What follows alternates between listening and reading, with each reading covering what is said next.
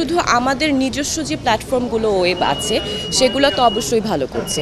সবাই যার যার অলরেডি আইডেন্টিটি তৈরি করেছে এই খুব অল্প সময়ের মধ্যে এবং I am pretty much sure যে বিশ্বব্যাপী যে ওয়েব মানে ওয়েব যে জার্নিটা শুরু হয়েছে দ্যাট ওয়েব এটার আসলে আসলে কোনো বাউন্ডারি নাই।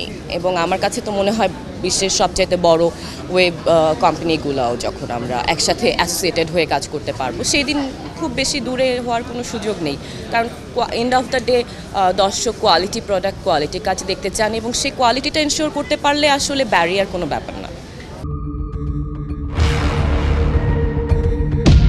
অন্যরকম কোনো কিছুর এক্সপিরিয়েন্স করতে পারাটাও আসলে অন্যরকম ভালো লাগা।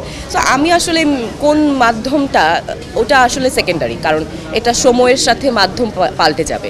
কিছুদিন পরে আরও আরও একটা অন্য মাধ্যম আসবে, দশ বছর পরে আরও অন্য মাধ্যম আসবে। তো মাধ্যম আসলে পরিবর্তিত হতেই থাকবে। কিন্তু সব মাধ্যমেই ডিরেক্টর নিজের গল্পটা বলতে চান, অভিনেতা, অভিনেত্রীরা তাদের বেস্ট অভিনয়টা করতে চান, এবং এটাই হচ্ছে সব মাধ্যম জুড়ে কমন জায়গা। তো আমি আমার কাজটুকুই করি শুধু। মানে মাধ্যম কি, ওটা নিয়ে আমি বেশি কনসার্ন না। ক্রিয়েটিভ সলিউশনের সকল দর্শক, দেশে, বিদেশে যারাই আছে, তাদের সবাইকে শুভেচ্ছা। এবং যারা এখন পর্যন্ত এই চ্যানেলটিকে সাবস্ক্রাইব করেনি, তাদের সবাইকে আমি সাবস্ক্রাইব করার জন্য অনুরোধ জানাচ্ছি।